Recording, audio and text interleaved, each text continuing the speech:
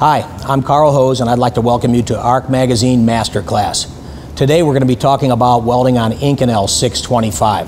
Inconel is a trade name for one of the many nickel alloys that you can encounter while welding. There are many, many families of nickel alloys, but Inconel is one that's popped up lately in motorsports applications, primarily high-end exhaust systems.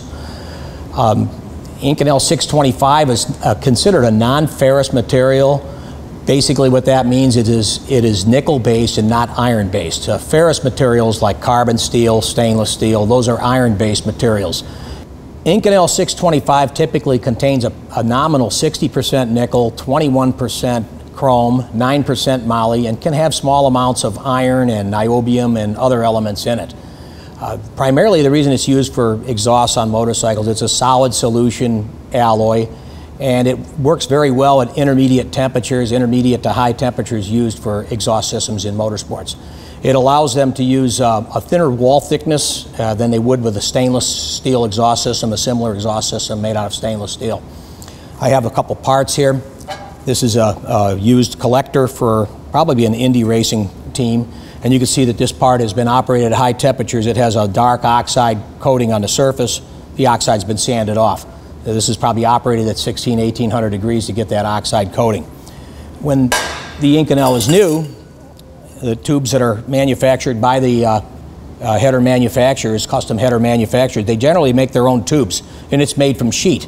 And often uh, these parts are polished to a chrome-like finish. Uh, they're very expensive headers, so they're polished to a chrome-like finish.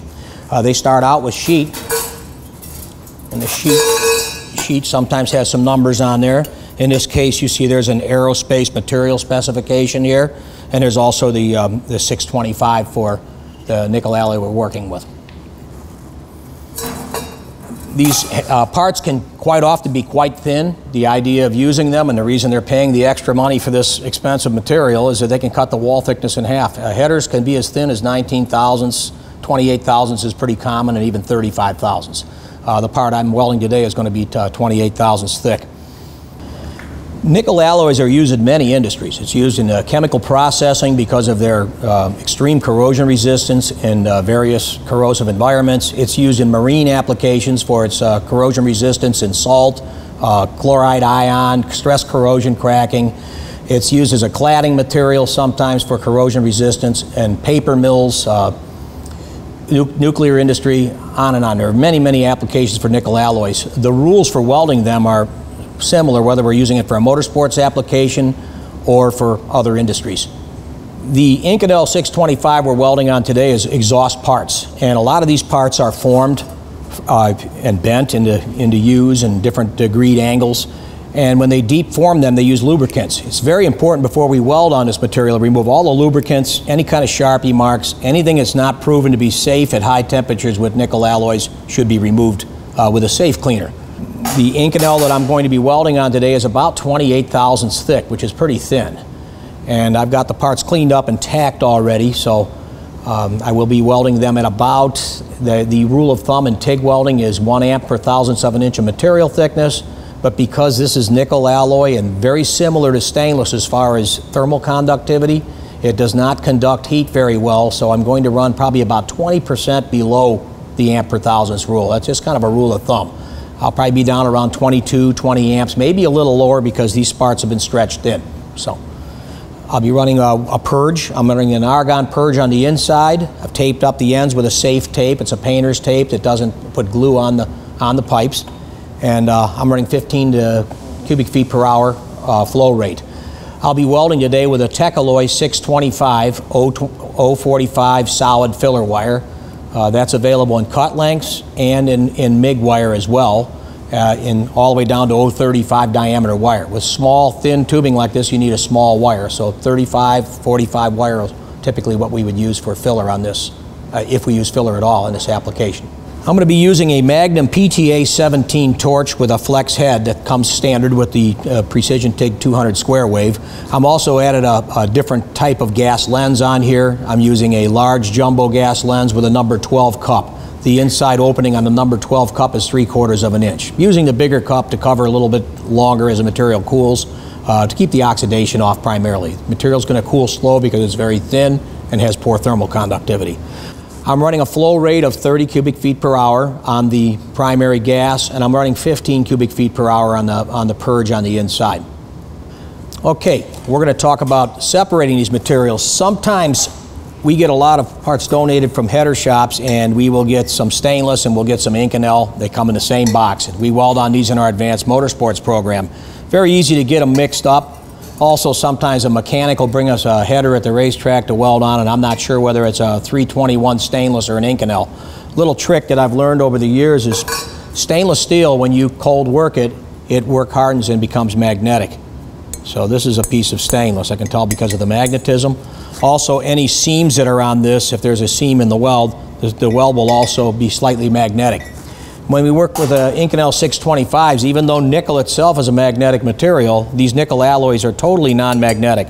The welded seam on the tube is not magnetic, and after it's been cold worked, it does not form into a magnetic structure. So I kind of use that as a way of guessing as to what material this is. If I can't figure that out uh, that way, I weld with Inconel, filler metal. 625 filler metal is what I would use uh, to weld even stainless, it would work. If I had to join dissimilars like stainless steel to Inconel, I would use 625 Inconel filler metal.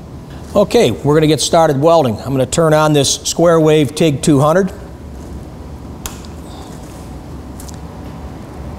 And we are set for direct current uh, TIG welding, negative polarity. I have the current turned way down to 19. Um, I'm going to bump it up just a little bit. I'm going to shoot for 22.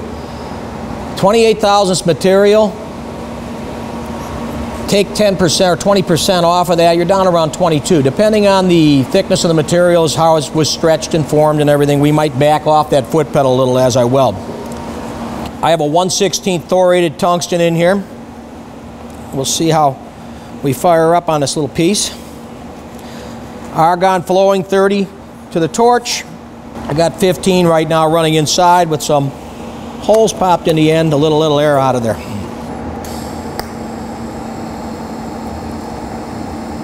You see a little bit of a green arc to Inconel that you don't see with stainless, and it's a little sluggish on the surface. When I started out, I set my top current at 22 amps, but I can tell welding on this piece that it's a little thinner than 28,000, so I'm back that current down. I bet I'm down around 17 amps or so right now. Fit up is very critical. If you have a gap on material this thin, you're to have a real hard time filling that up. Trying to keep my work angle torch pretty much straight in. Filler wire added to the front if I'm using filler metal, which I am today. And travel speed just enough to let that puddle wet out. You got to kind of take your time with these nickels. Again, we're not worried about getting to the inside. 28 thousandths material, it's going to break down on the inside very easily. What I try not to do is make the weld too flat on the surface. That's why I'm using filler. Okay, I'm coming around here and getting up near the end of the weld. What I want to make sure I do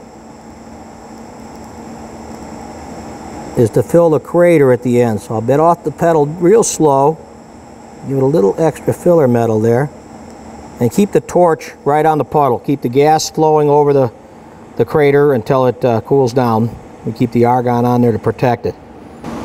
Any oxidation that's on the surface, if uh, you know discoloration, it needs to be removed. It needs to be removed with a clean stainless steel wire brush. It hasn't been used on other materials or uh, polishing cloth, emery cloth, anything like that can be used to, to buff the welds down. But make sure it's clean, it hasn't been used on other materials. You don't want to embed iron or uh, from other operations into the surface of the nickel alloy. Thanks again for watching ARC Magazine Masterclass.